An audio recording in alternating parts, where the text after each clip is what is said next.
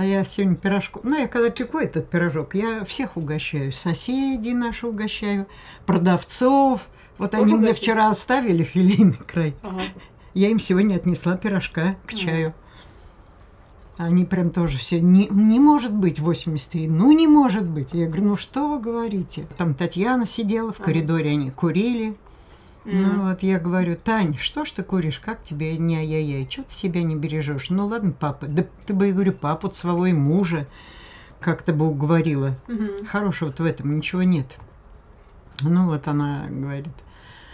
И потом Маришка вышла, мать ее. Ну и, в общем, мы...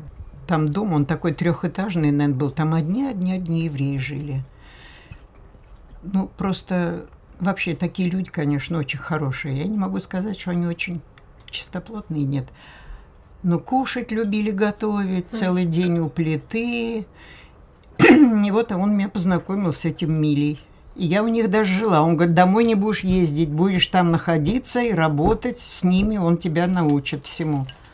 Ну вот научил. Конечно, я на фабрику уже пошла, когда мне было 16, а до 16 вот всю войну я работала ретушером. Ну, мне что-то там отстегивали чуть-чуть, и хорошо. И он всегда говорил, твоя работа идет без проблем. Вот, говорит, сдаем работу, Нравится.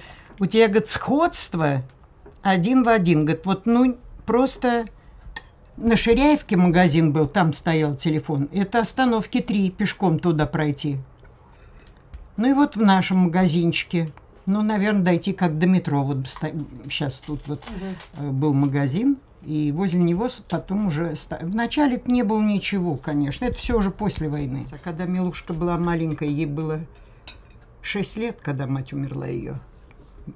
Анюта-то.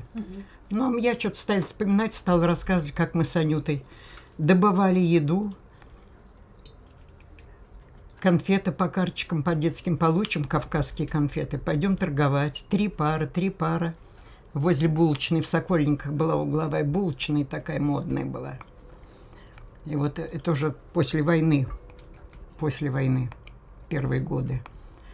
А самим хочется конфетку съесть. Народ никто не идет, облизнешь конфеточку опять на салфет, на бумажку положишь. Три пары, три пары.